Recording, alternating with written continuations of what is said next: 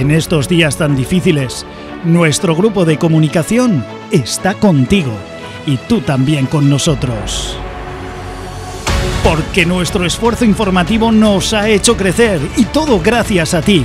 Tele7 se ha convertido en un referente de la comunicación en nuestra zona. Así lo confirman las más de 350.000 personas diferentes que visitaron nuestra web durante el mes de marzo, un incremento del 512% respecto al mes de febrero.